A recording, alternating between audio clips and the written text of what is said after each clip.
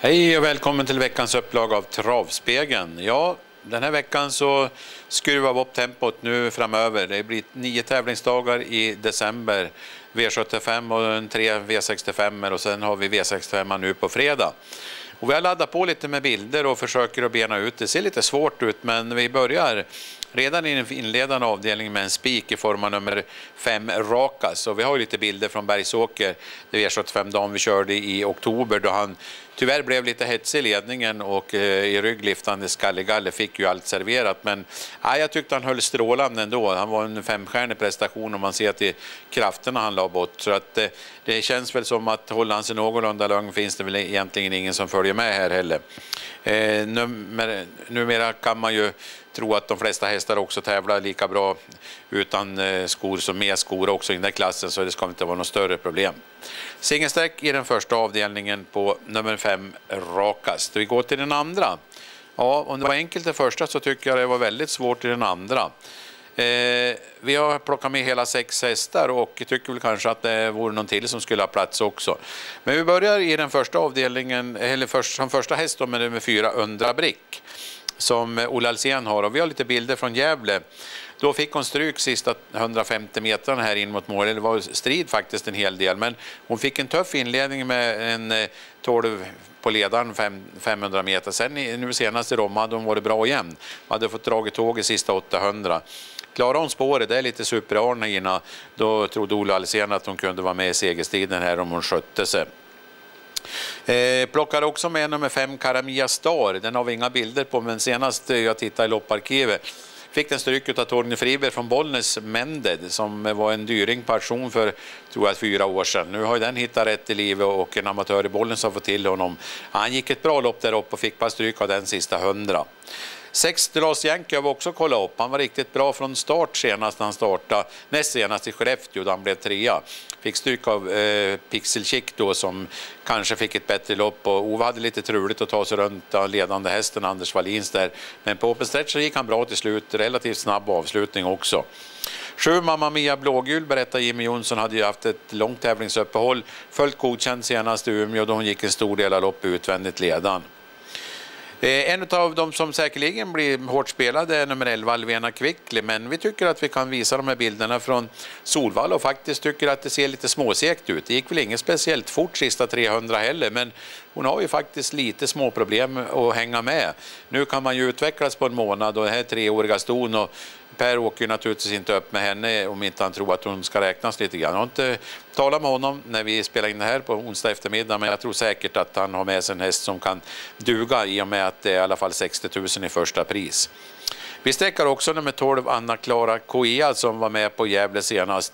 Hon kördes då eh, för andra gången utav Peter Eriksson och vi har bilderna här så tycker jag att hon visar lite grann eh, eh, styrka faktiskt till slut. Lite långstegad och så, men ja, jag tycker hon kommer mellan hästar där in mot mål. Det var ju ingen direkt vinstchans, men hon hade gången före också hoppat fortfarande med lite chans enligt Peter som kört henne två gånger i rad. Så att eh, henne plockar vi med som sjätte häst. Eh, kanske inte alls känner oss säker på det heller. Det brukar alltid vara någon som dyker upp eh, i sådana här lopp. I den tredje avdelningen så Eh, plockar vi med nummer ett King Dehad som jag tycker har läget. Eh, formkusk Robert Skoglund. Dessutom gjorde han ett bra lopp på Bergsåker senast, men i enkel konkurrens gick han utvändigt i alla fall och det var tufft tempo. Två Björnjägaren, eh, lite halvseg på Bergsåker som tvåa. Mycket bättre nu ett flexlopp ner på Romme nu senast. Då gick han ett bra lopp efter galopp för Dag Finorum. Vi har bilder på två hästar som de övriga två jag tar i loppet. Det är fem Sharkbite och nio Melby Toker. Om vi börjar med starten senast så var ju Ulf eh, inte inne med Melby Toker då och kör för någon ledning.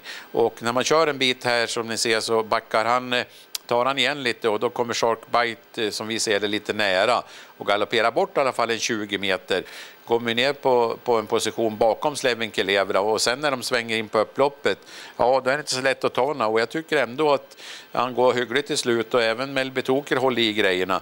Det här är ju ett amatörlopp som ingår i amatörserien och jag tycker att både Sharkbite och Melby Toker ska vara sträckvärda men här kan det hända saker. Jag tycker att det finns någon till också som är värd Men det är ju så, det kostar ju att ligga på topp så vi tar de där fyra.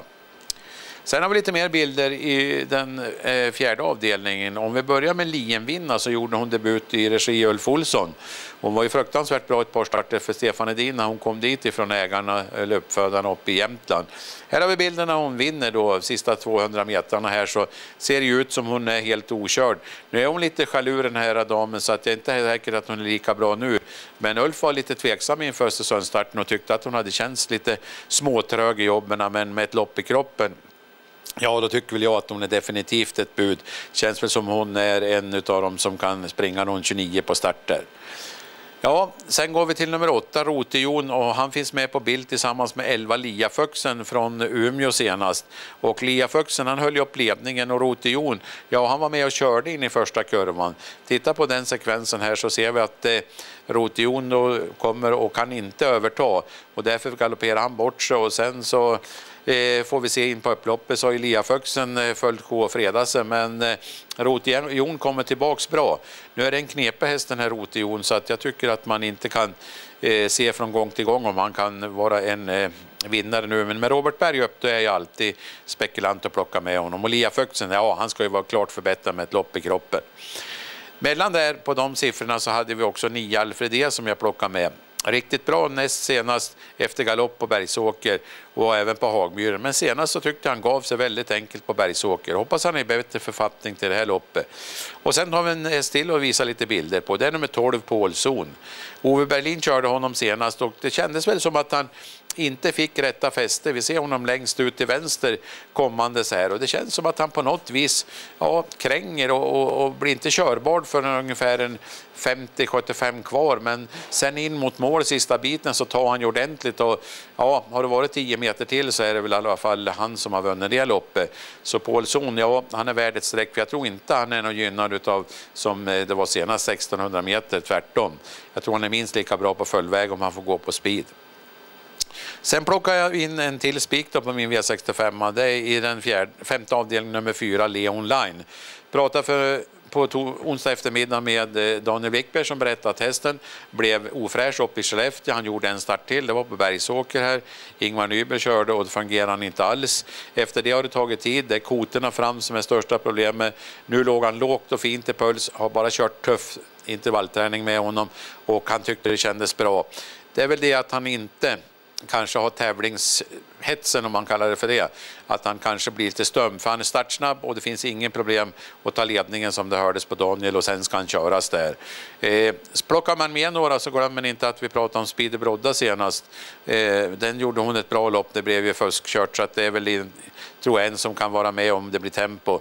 Vårds bok och, och nio Odis Nasdaq är två andra bud. Ja, ni hör, det är inte allt lätt det där loppet och Moremotto är ju sina dagar då hon är bra, men spik för mig för fyra Leon Line i alla fall. Sista avdelningen fyra hästar och jag tycker att två omelett, ja hon gjorde bort sig på Solvalla senast men det finns ingen anledning att tro att hon gör det igen. Robban startar inte hästarna om inte, det är no, om inte de är fräsch men hon for och fuskade lite grann på 1500 kvar innan galoppen kom. Therese Ingrid Matilda, ja vi tar och tittar lite på bilder på en Bergsåkers triolopp senast. Då gick hon väldigt bra från start och eh, var inga problem alls. Då var det regi Allan Shelton och vad man kan se på programmen nu så är hon ju såld. Och det ska ju inte alls vara någon nackdel. Hon hade inga problem alls att hålla upp ledningen och sen över upploppet, ja det är ju många längder som egentligen eh, var fullständigt okörd dessutom enligt körande Ulf Eriksson då. Ni ser Fiona Speptin som står 20 meter nu spurta in hyggligt men jag tycker ändå att det måste vara svårt för henne att ta de här 20 meterna så att Singer Matilda är given på våran kupong. Plockar med sju Cambridge och eh, tycker att det är lite synd att inte hon fick ledningen senast. Fick ju harva utvändigt och gjorde, tycker jag, ett kanonlopp. Sista 50 blev hon tyvärr nedspeedad. Men ja, kanske Henrik Svensson kan eh, få en eh, position där framme och att det var form, det visar Cambridge senast. Får bli våran luring den här veckan. Och Elva Land, Alandes Karisma, ja hon har ju varit fruktansvärt bra. Vann ju ett försök till den här uttagningsloppet, det är ju 100 000 i första och då var hon ju strålande bra. Men eh, ja, form är färskvara, nu har hon eh, vilat några veckor men eh, är hon som vid segrarna, ja då är hon ju ett givet bud.